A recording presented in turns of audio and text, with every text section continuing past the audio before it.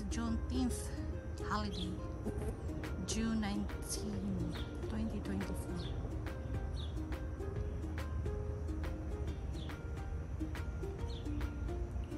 Grabe kainit today. Tere ko sa kahoyan nagpaling palandong. Nag-check sa mga kahoy nga wala pagikuha. Usap ka na nila kuhaon. Mga natumba nga kahoy pag